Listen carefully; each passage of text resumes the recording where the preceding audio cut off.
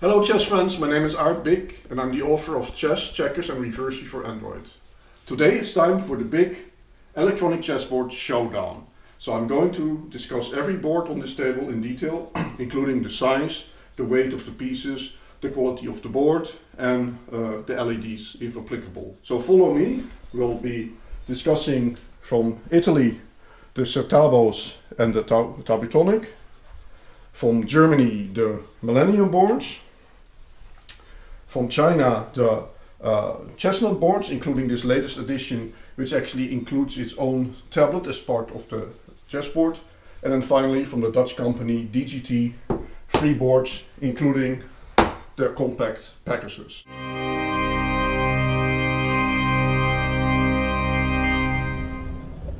First up is the DGT, a very nice solid wooden board, uh, 21 inches wide and deep. Uh, I have a very old version, let me zoom in here a little bit. You see that I still have a serial connector, uh, which really dates me. Nowadays, of course, they all come with USB connections, but with some cabling and some adapters, you can actually still connect it to Chess for Android. Let me see how heavy the queen is comes about in 36.8 gram on this scale. Uh, this version, like I said, I really like the nice wooden board. I like the pieces, uh, pretty uh, heavy as you could see. Uh, there's no LEDs, uh, but it registers really well D4, using D5. chess or I usually use spoken moves here because of the lack of LEDs. But C4. Very capture C4. Very solid recognition, no problem. So a very nice board by DGT. Uh, tournament size, tournament size pieces, uh, highly recommended. Of course, you only have the USB or nowadays also the Bluetooth versions from DGT. Next up is the DGT E board, which is a slightly cheaper alternative to the wooden version that I just showed you. This one is made of high quality plastic. Uh, I have a USB version, uh, connects really well with Chess for Android. The pieces are slightly heavier, I'll show you. So the queen is about 50.2 grams, so you can actually feel that it's slightly heavier in the hand. Also no LEDs on this board. Um, I showed it here with the DGT clock. So Chess for Android has full integration with the DGT chessboard. So I use the screen for some information. Here we start a new game. I also have the clock synchronized. So when you start playing, B4 registers really well, H5 shows the move and it shows the time you have left. So I have it on two seconds, so I actually already run out of time here. But it still allows you to keep on playing Knight f3. H4.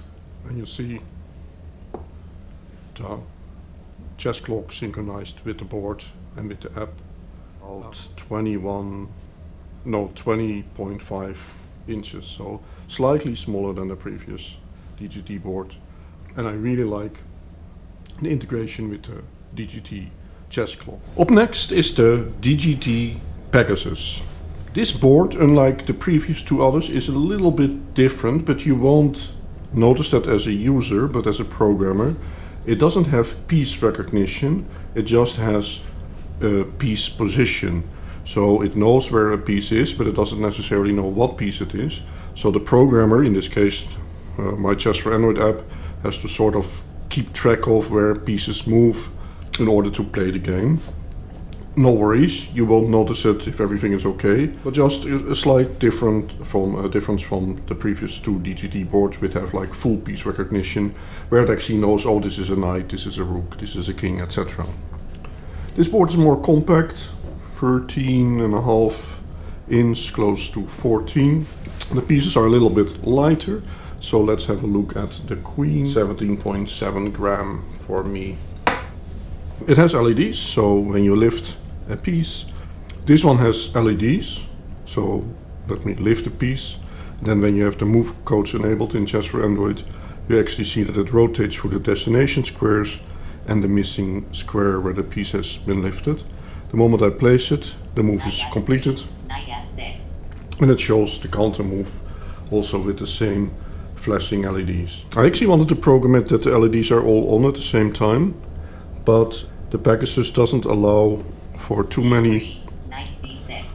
uh, LEDs at the same time. So let me show you if I lift the bishop here. I wanted to show all the lines at the same time, but instead I just chose to circle through the possible destination squares. Not really tournament size, but perfect for like studying on the kitchen table or anything where you have a little bit less space.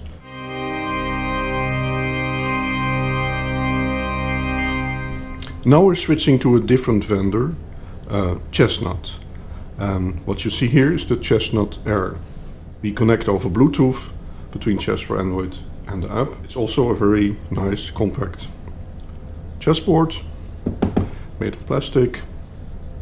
LEDs are green and it's about 13 inches wide. And let's wait one of the queens. It comes in at about 10 grams. Fast in registering. Uh, it was very easy to program for this board. And here I can actually show all the LEDs when I have the move codes enabled. You see, show all the possible destination squares at once. Knight F3. Knight C6. And here's the Chessnut Pro, tournament size, full wood, a little bit over 21 inches, and the queen weighs about 22.4 grams. And what a lot of people will like is you absolutely don't see the LEDs when they're not lit. So let me play. You see when I lift, it shows the possible destination squares and the response. But you see no LEDs in the wood. The moment I lift it, they come on. But then when I put it down, they discreetly go away again. So for people that really like to focus on a chessboard, not being distracted by any kind of irregularities on the board, this is very good. Like you only see the LEDs at the moment you need it. A quick comment about this latest board from Chessnut. This is a Chessnut Evo. It's uh, really hot from the presses. Uh, and what is unique about this is that it actually comes with sort of an attached tablet, making this a really nice integrated chess computer. The software looks really promising, like over the board play, bots you can learn, you can connect to chess servers. The board itself is about, let's say, 13 inches, and it's like 20 inches wide, including the tablet.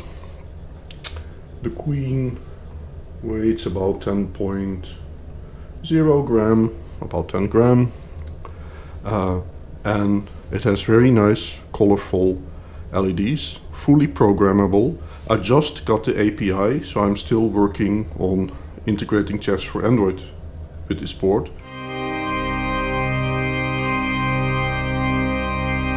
And this electronic chessboard showdown has arrived in Germany with this beautiful Millennium Chess exclusive. A sturdy compact board about 16 inches and the queen comes in about 12.9 grams. It comes with its own uh, autonomous device with engines and chess clocks, very nice. But you can also buy the C-Link separately and that allows you to connect to the other devices over Bluetooth Lite in this case Chess for Android. At the starting position, two uh, LEDs blink if you connect to Chess for Android, indicating what side light is playing from. The LEDs are subtle, but slightly visible. The brightness can be controlled from Chess for Android as well. So if you make them at the lowest level, they're very subtle and they don't distract from the play at all. Then as usual, when the move codes is enabled, you see like the blinking square for the missing piece and the steady ones for the destination square E4. E5. and you can just start playing. The board has very steady piece recognition. I had no problems programming for this at all. Knight F3. D6. And again, you see the move codes is able to show all possible destination squares. And here is its bigger brother, the Millennium Extreme Tournament Edition. Very nice sturdy board, tournament size, 21 and a half uh, inches. And the queen comes in at about 44.1 gram. Same setup, you can use the device that comes with it, or you can buy the C-Link and connect to Chess for Android. Similar setup with uh, blinking LEDs, you can control the brightness. E4. E4. Very, very sturdy registration. Move codes, Knight C3. D captures E4. really a pleasure to play with this board. To give you an indication of how fast the piece registration is, I put it in setup mode on Chess for Android and then you can actually just move the pieces around and set up your favorite chess position to study.